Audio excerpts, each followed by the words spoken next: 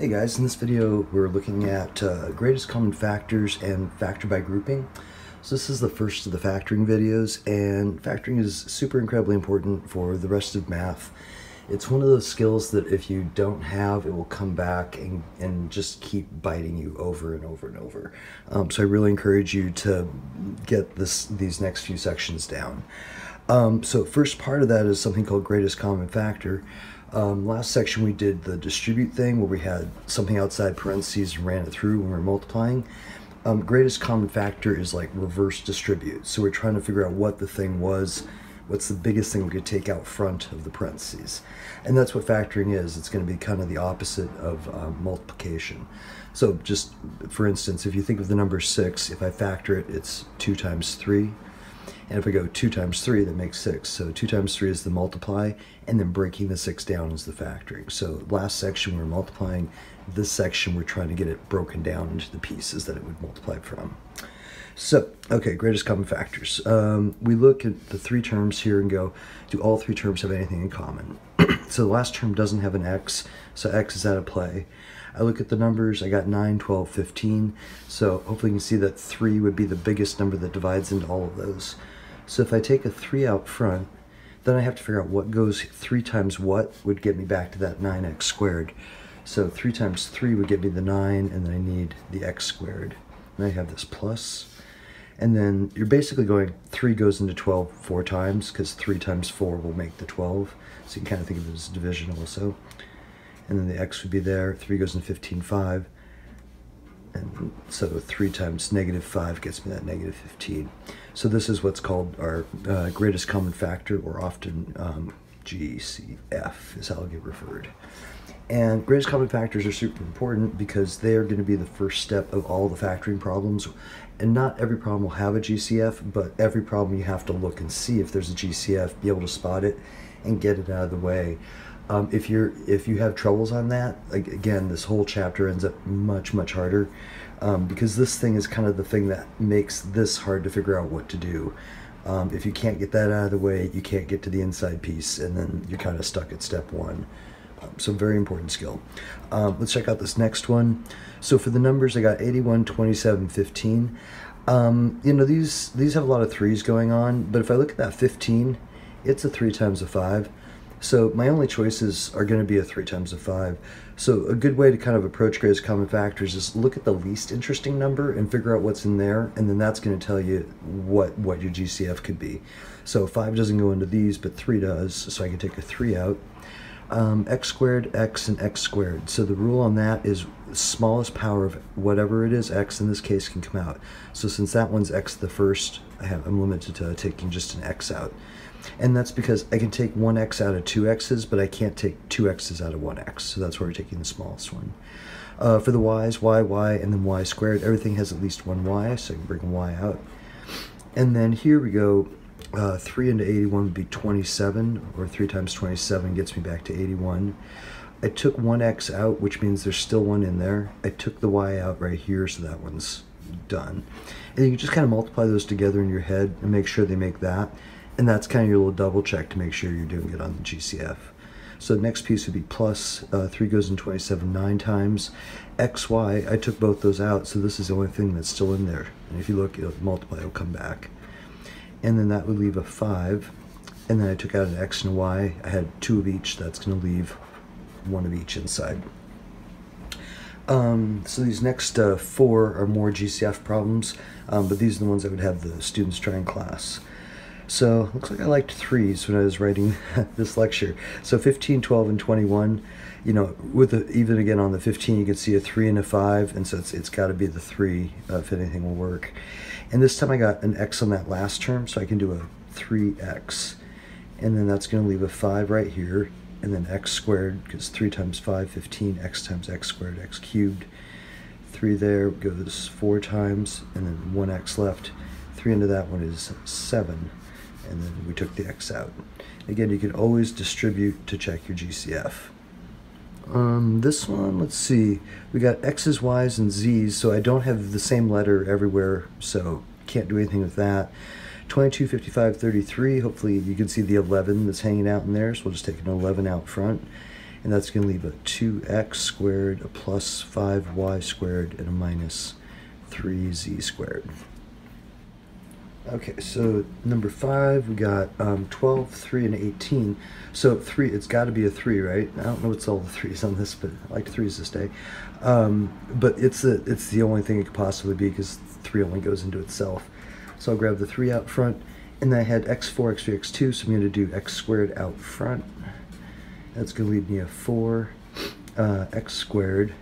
And then here, um, I took the 3 out and two of the x's, so that's going to just leave one x there and then 3 goes into this 6 times, and I got both x squared out front already.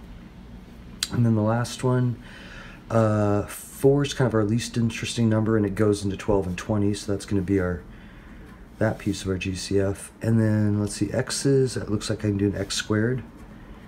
And y's, it looks like my smallest one is plain y down there. So 4 into 20 would be 5, and I'd have two x's left and I'm taking out one y, so I'd have two y's left. And then 4 to 12 would be 3. On there, I'm going to have an x left and a y left. And then this one, notice I'm taking out everything, right? So that doesn't disappear because when I go distribute, distribute, I need something here so that piece comes back. So when you have all of it, if it's a negative, it's just a negative one. If this had been a positive, it'd just be a positive one there. And hopefully you can see if I did my distribute, then I get that piece. And then in the second half of this section, we get um, some four-term problems. And the technique we're going to use for those is called factoring by grouping. Um, this is a good spot to introduce this little chart that I'm going to toss up real quick. Um, so this should be in the notes at the beginning of the factoring section. Uh, this is kind of telling you how, and it's for 4-6, so it's after we have all the techniques. But this is sort of telling you how to figure out which thing to do when. And so the thing we just did, is there a GCF? That's the first thing you do for every factoring problem. Um, yes, factor out the GCF. The next thing is, is it prime? And with those GCF problems, it was. They didn't go further, but for pretty much every other problem you do, they, they mostly do go further. And then the next thing we do is we count the number of terms. You can have two terms, uh, four terms, or three terms. And right now we're working on the four term one. So every time we see something, after, if there's a GCF, we get out of the way. And then after that, if it has four terms, the tech, this next technique is what we're going to use every single time. And I'll keep referencing this as we go through the factoring videos to try to help you see how to figure out what to do when. okay, so then here we got four terms, and what the goal is with grouping is you kind of just ignore the second two for a second, and you just look at what you got up front, x, y, and then 2y, and what's common to those two is the y. So what I'm going to do is I'm going to take the y out front, it's going to leave the x in the plus 2. And so that's just that much of it.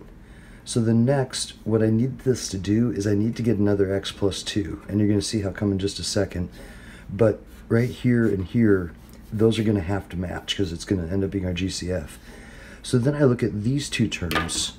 And these two are going to go with this piece right here. And go, okay, what do I have to take out of this to make it do that? And so you can kind of see the 3. If I told, if I factor 3 out, 3x, and then there's a plus 6, so I pull a 3 out and then I get this thing. So the reason I need these two to be the same is because that's now my GCF. I took four terms and now I've kind of written it as kind of two multiplies. If I have that, then I can take that out front. It's a lot like if I had, um, think about if I had y x plus 3x, in that case, the x would be the GCF. It would come out front, leaving the y plus 3. This x is acting just like these x plus 2s. It's just in each of the terms we can take it out front. So x plus 2, and then y plus 3 is what's left behind, just like up here. So that's factored by grouping. That's how all the four-term problems are going to go. Um, you can always check factoring by foiling it back out. There'd be our xy. On the outside, there's my 3x up there. On the inside, there's my 2y right there and then 2 times 3 makes the 6. So you can always check by FOIL. Um, but that's that's the basic plan here for these four terms. It's always going to be group the first two, make the second two group the same way, and they, they will on these, um, and then just take that GCF out.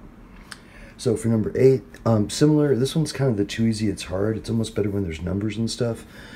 Um, so looking at those first two, they both have an X in common. So I'll take an x out front. It's going to leave that y. And then there's that minus sign, and it's like there's nothing there, so that's where I need that 1 for a placeholder. So xy and then minus x. So then here I need to get that same thing, right? And then you look, and here is the exact same thing. So the trick there is just to do a plus 1. Um, and then that would be that, kind of like this one where when we FOIL back, that's going to get these second terms. And you can see right now, xy, there's our minus x, 1 times y, 1 times negative 1. So now that's my GCF. It comes out front. And then x plus 1 left behind. Um, I, you notice I just get, so, you know, y minus 1 comes out front. um, it doesn't have to come out front. You can write these in the other order too, and it's completely right. I just think of it as a GCF, so that's why I write it in the order that I do. Uh, number nine, this one has this little bit here where it's like, oh, should I collect terms? And the answer is no, don't collect terms. Because um, then it turns it into a problem you don't know how to do yet. It's in the next sections. So they're doing a little preview here. Um, so what we want to do is just take it as a four term problem. So I got uh, 10 and 5, so I could take out a 5 and I have x squared and x. So that means I'm going to be able to take out an x. So 5x out front and then that's going to leave me a 2x, and then there's that 1 again, so minus 1. I need to get this, and this is a great place to show that um, that sign sometimes messes people up. So once I'm confident that this is really what's left behind, I know that's what I got to get, otherwise the technique doesn't work. And realistically, we're in you know intermediate algebra, so the problems are designed to work. So it should do this. Um, but when you get here, a good thing to do is to go, okay, what do I multiply 2x by to make it, because that's going to come back to negative 14x. And what that does is it helps you see you need a negative 7 there. A lot of times we'll write positive 7. Um, or they'll do, do a plus right here because they think they're doing something with a negative. But if you just write down what you need and then make that happen, it'll actually get there. And our double check is negative 7 times 2 is 14, negative 7 times negative 1, there's that plus 7. So write down where you got to go and make that happen. Uh, taking this out front, and then the 5x minus 7 is left behind. And one more over here. So with that, the best I could do would be a 6 and an x squared on those first two terms. So I'll do 6x squared. 6 times 24, so that'd be a 4 left behind, and then 2 out of 3 leaves me 1. And there's that where I took the whole thing, so that's going to be a plus 1 this time. Uh, from those two, I need to get another 4x plus 1. And so what do I multiply 4x by to make it negative 20x? That'd have to be a negative 5. And then once I do that, I just kind of double check the second one to make sure everything's gone well. And there's my GCF, so 4x plus 1 out front. And then 6x squared minus 5 is what's left behind. Um, when we get a little bit farther into the factoring, this piece right here has the potential to keep going. Um, we don't, we haven't seen that yet, so we'll, but we'll encounter it probably in a couple more sections. Um, when there's a square left, that means it may or may not continue to factor. So there'll be something we'll look for a little later. Okay, and then this last round would be the ones that I would have uh, the students try in class. So same same stuff, just more practice. So here I got x's in common, so I'll take out an x, x plus 3, and then we're, I'm sorry, uh, y, y plus 3, x, ah, you know what I'm trying to say. Okay, so y plus 3 here. And then um, to make that come out, that y to come out negative 3, I would need a negative 3. So negative 3y, and then negative 3 times 3, there's our negative 9. And then there's our GCF, that comes out front. And then x minus 3 left behind. Uh, for 12, here and here, it looks like I have 2's and y's in common. So we'll do a 2y out front. That would leave a 3x and then plus 1. Right here, 3x plus 1. So all I need is a plus 1 to hold that. Uh, taking the GCF out front, 3x plus 1. What's left behind is 2y and plus 1. Uh, for 13, so again, don't combine them. We'll just do a 5x out and x minus 3 is what would be left behind. And then we'll do write down that other x minus 3. And then in doing that, what do I multiply x by to get back to plus 7x? So I need a plus 7. 7x, and 7 times 3, yep, negative 21. And there's our GCF. And then leaving behind the 5x and the plus 7. And then this last one, so from there I could do an x squared. So that right here, that's going to leave me an x and a minus 5. And then I need that to happen again, so I'm just going to write it down. And then I can kind of see there I need to do a negative 6. Negative 6 times negative 5 does make negative, I'm sorry, positive 30. So there's my little check. Taking those out front. And x squared minus 6 left behind. Cool, so that concludes uh, the factor by grouping in GCF.